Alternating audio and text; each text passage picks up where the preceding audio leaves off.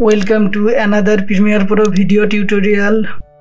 Today we will learn how to move video or object with the mouse in Premiere Pro. So you can see that the video is not moving.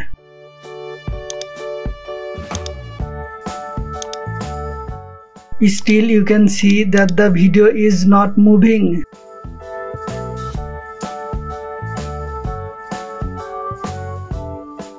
So to move it, go to effect control. Click on the motion. You can see that the video has been transformed. You can zoom in or zoom out by clicking on any corner of the video.